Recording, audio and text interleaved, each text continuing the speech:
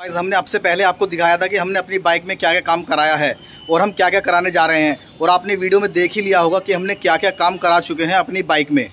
तो गाइज़ मैं आपको बता दूँ, मैंने इसका अभी तक एवरेज चेक किया है। तो दोस्तों, इसका एवरेज हमें काफ़ी ज़्यादा कम देखने को मिलेगा। जी हाँ दोस्तों, जब भी हम इंजन को एक बार खुलवा के बंधवाते हैं तो उसका एवरेज काफ़ी ज़्यादा कम आता है। जी हाँ माइलेज बहुत ही ज़्यादा कम आता है। और वही मेरे साथ हुआ। मुझे लगा कि मैंने इसके अंदर कुछ ऐसा गलत काम करा दिया जाके ताकि इसकी वजह से इसका एवरेज कम आ रहा है। बट ऐसा कुछ नहीं है।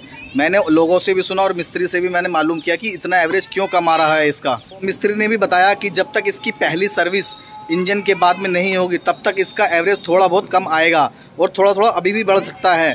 जी हाँ दोस्तों, मुझे लग रहा है मैंने पहले पेट्रोल डलाया था तो इसमें लगभग 35 किलोमीटर का एवरेज आया था। और अभी दोबारा से मैंने पेट्रोल डलाया है तो अभी मैं चेक कर रहा हूँ कि कब तक कितना एवरेज निकलने वाला है।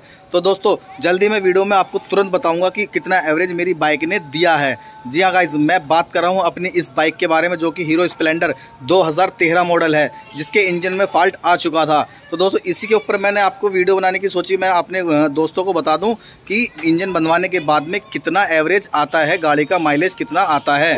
छे, हमने इसका इंजन वगैरह भी कराया था मैकेनिक से। तो दोस्तों, उसके बाद में हमने इसका माइलेज टेस्ट किया तो इसका माइलेज काफ़ी ज़्यादा कम आ रहा था। तो दोस्तों, हमने देखा इसका माइलेज कितना आ रहा है तो इसका mileage lump sum fifty K M के आसपास आ रहा था, जो कि काफ़ी कम था। तो हमें लगा कहीं ना कहीं इसका माइलेज ज़्यादा ही कम है।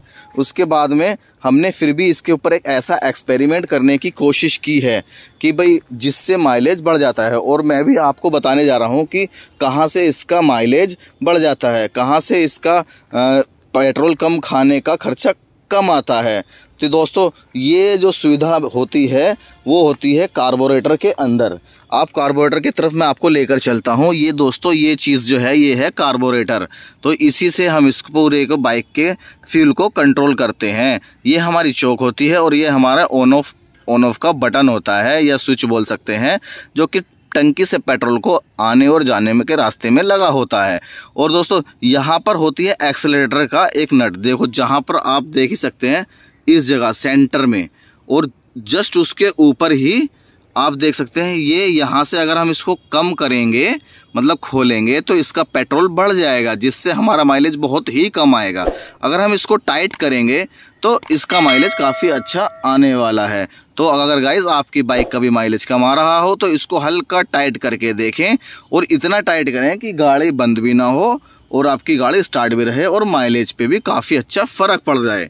तो दोस्तों, ये वाला जो स्विच है, इसी से आप माइलेज को ठीक कर सकते हैं। तो दोस्तों, हमने पहले भी आपको वीडियो बताया था, हमारी बाइक में काफ़ी ज़्यादा प्रॉब्लम आ रही थी और हमने अपने माइलेज को ठीक भी कराया था। और पर मिस्त्री ने बोला कि आपकी गाड़ी का माइलेज अच्छा आ जाएगा, उसने चेक करने के बाद में।